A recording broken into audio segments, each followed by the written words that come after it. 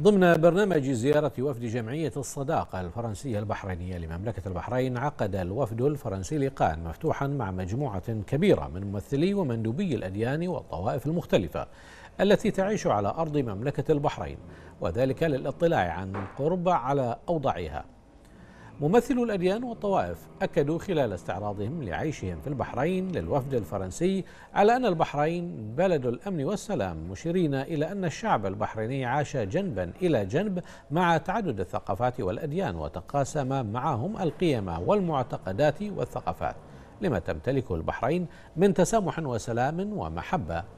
مثمنين جهود جلالة الملك المفدى ومشروعه الإصلاحي ومؤكدين سماحة جلالته ودعمه لإقامة دور العبادة المختلفة لمختلف الطوائف على أرض البحرين مشيرين إلى الحرية التي تتمتع بها كل الأديان في إقامة شعائرها الدينية بحرية كاملة من جانبهم أكد أعضاء وفد جمعية الصداقة الفرنسية البحرينية أن مملكة البحرين بقيادة جلالة الملك حمد بن عيسى آل خليفة عاهل البلاد المفدى قدمت نموذجا فريدا يحتذى به في مجال التعايش بين كافة الأديان ومختلف الانتماءات والطوائف مشيرين إلى أن زيارتهم للبحرين كشفت لهم وعن قرب أن المجتمع البحريني يتميز بالتسامح والمحبة بين كل الأديان والطوائف. مشيدين بجهود جلالة الملك المفدى ومشروعه الإصلاحي الذي كان الأساس في تعزيز مفهوم التعايش السلمي والتعاون بين مكونات المجتمع البحريني بمختلف أطيافه. وهو الذي رسخ هذه القيم الأساسية بين أفراد المجتمع وجعلها معيارا للتعايش في البحرين.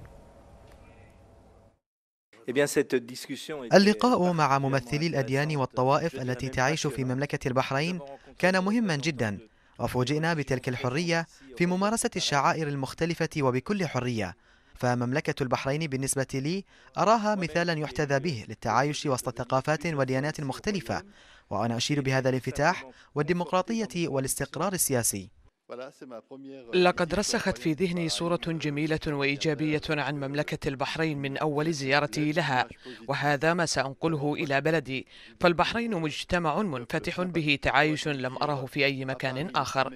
كما سأخبر زملائي الأعضاء البرلمانيين وأبناء منطقتي التي انتخبت فيها عن الحرية التي ينعم بها كل من يعيش على أرض مملكة البحرين.